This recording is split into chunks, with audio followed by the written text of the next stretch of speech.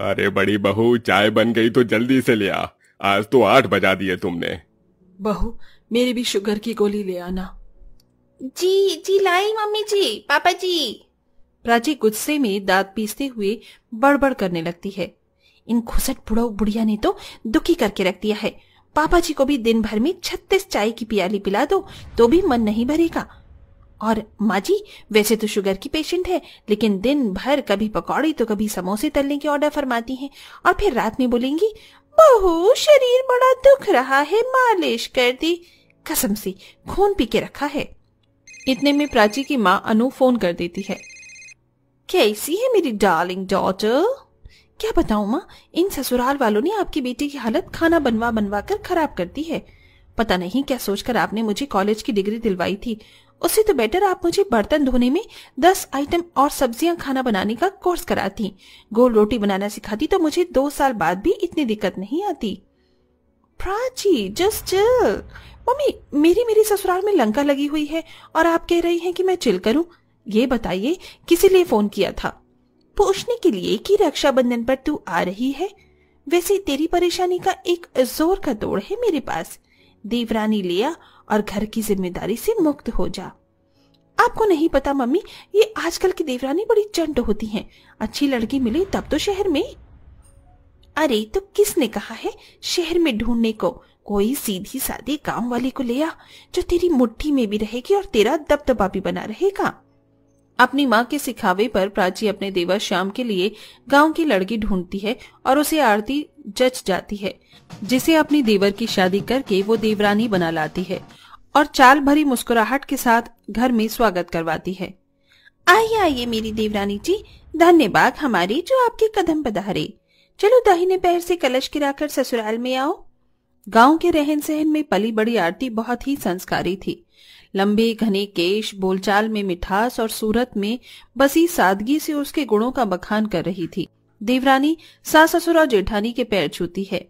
अरे अरे, खुश रहो खुश रहो। सदा सुहागन रहो। वैसे तो देवरानी जिठानी का रिश्ता कच्ची कैरी के जितना खट्टा मीठा होता है, लेकिन मेरे लिए तुम मेरी छोटी बहन जैसी है।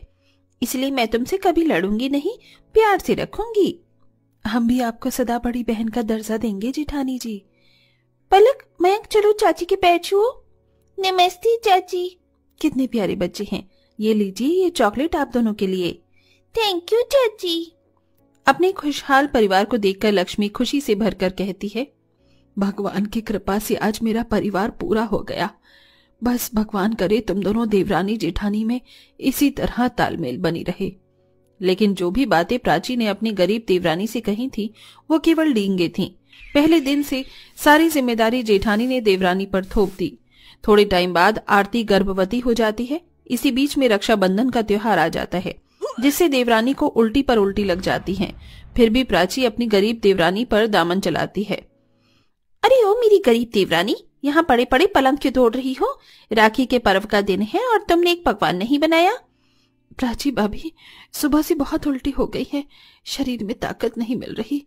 आज के लिए आप रसोई संभाल लो। ये सुनते ही जेठानी दांत पीस लेती है और देवरानी को ताने देने लगती है। अच्छा जी, जब मैं पकवान तलूँगी तो तुझे क्या अंडे देने के लिए लाई हूँ मैं देवरानी बनाकर?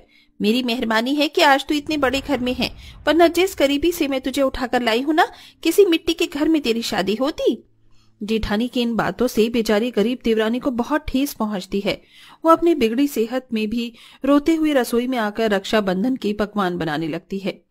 जिस दिन मैं दुल्हन बनकर आई थी, उस दिन तो जेठानी जी ने कितनी मीठी बातें की थी। लेकिन किसी ने ठीक ही कहा है, कहने और करने में अंतर होता है। बेचारी गरीब देवरानी का सारा दिन रसोई में खड़े खड़े पकवान बनाते हुए निकल गया, जबकि जेठानी ने रक्षाबंधन वाले दिन एक दिन का टस से मस नहीं किया। इसी तरह साल गुजरने लगे। अब आरती के भी दो बच्चे हो गए। छह साल की बेटी इच्छा और गोद का एक बेटा लेकिन बीते इन सालों में जेठानी का बर्ताव अपनी गरीब देवरानी के प्रति और रूखा हो चुका था। जेठानी जी, गैस सिलेंडर खत्म हो गया है। मंगा दीजिए, खाना बनाने में बड़ी देर हो गई है।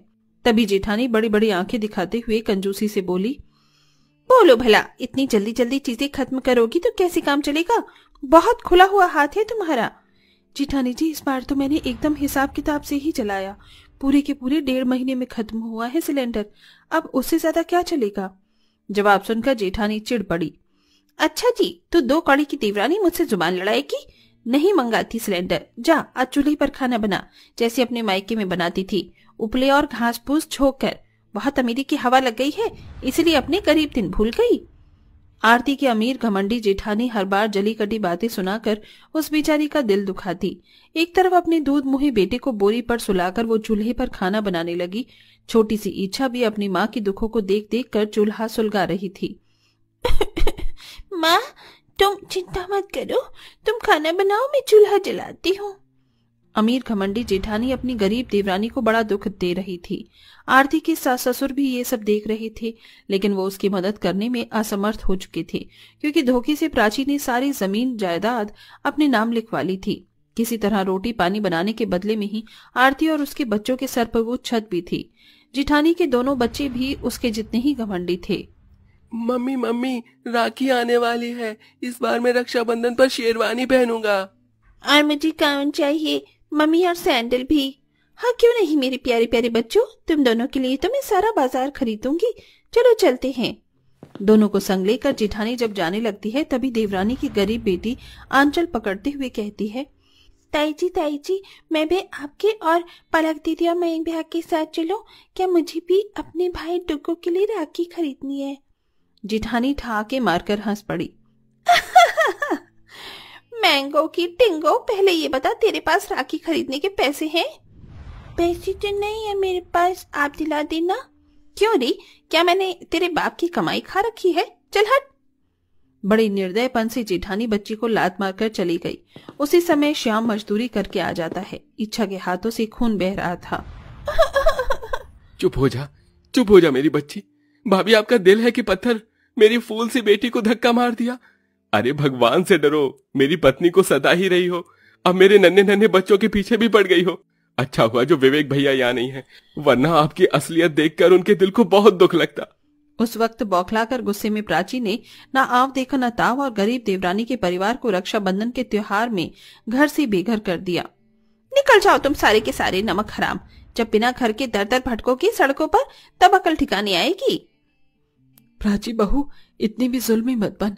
अरे अपने गरीब देवरानी पर थोड़ा तो तरस खा। दूध पीते बच्चों को लेकर वो कहाँ भटकेगी बारिश के मौसम में? आपको बड़ी हमदर्दी हो रही है माँ जी, मेरी करीब देवरानी से तो आप भी जा सकती हैं, दरवाज़ा खुला है। ससुराल से विदा लेते हुए, रोते हुए आरती ने अपनी सास ससुर के आशीर्वाद लेकर उनसे कहा, माँ जी, आप हमारी चिंता मत कीजिए, आप और बाबूजी ठीक से रहना, चलते हैं। देवरानी के परिवार को घर से निकालकर जेठानी मौज उड़ाने लगी। उधर कई रात सड़क पर भूखे प्यासे गुजरने के बाद आरती ने भूख से मुरझाए अपने दोनों बच्चों के चेहरे को देखकर कहा अजी ऐसी तो ज़िंदगी नहीं जाएगी। हमें कुछ तो काम धाम करना होगा। ये लीजिए मेरे कान की बाली बेच आइए इसे हम राखी का बाज़ार लगाएँगे। मुझे माफ़ कर देना। मैं सातों वचन में से कोई भी वचन नहीं निभा पाया आरती। ऐसा मत कहिए। आप मेरे संग है ना तो ये दुख भी काट लूँगी मैं। दोनों पति पत्नी पेट पालने के लिए राखी बेचने लगे। इधर जेठानी ने रक्षाबंधन के दिन लाखों की साड़ी पहनी छप्पन पकवान बनाए और अपने बच्चों से राखी बंधवाई।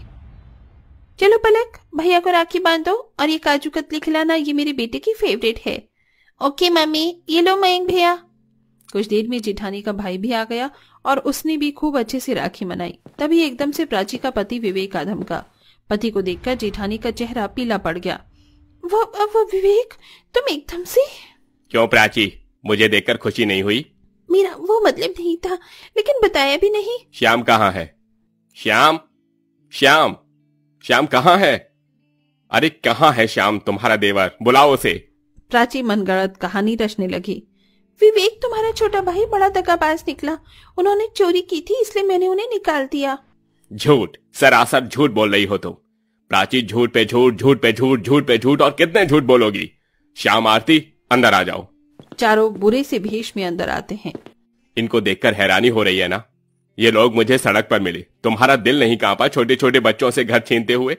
एक बात जान लो, ये घर जितना मेरा है, उतना ही मेरे छोटे भाई और उसकी पत्नी का भी है। या तुम अकेली यहाँ रहो, मैं सबको लेकर जा रहा हूँ। चलो बच्चों। प्राची अपने पति के पैरों में गिर गई। अच्छी ऐसा मत कहो। मेरे बच्चे मुझसे दूर मत करो। उनके बिना मैं जी नहीं पाऊँगी। मुझे माफ़ कर दो। देवरानी जी, मैंने तुम्हें दुख दिए। जी जेठानी जी, ये क्या कर रही है आप? मेरे पैर मत छूइए। आप रिश्ते में मुझसे बड़ी हैं। देखा? इसको कहते हैं बड़प्पन। इतना कुछ सहकर भी तुम्हें माफ़ कर रही है। आइंदा आरती का दिल मत दुखाना, क्योंकि अब वो मेरी बहन है। ये सुनकर आरती का मन भराया। उसने विवेक को राखी बांधकर रक्षाबंधन मनाया। अब उसकी ज़िंदगी में सब कुछ ठीक था। प्राची ने घमंड त्याग दिया और बिगड़े हुए रिश्तों को जोड़ लिया।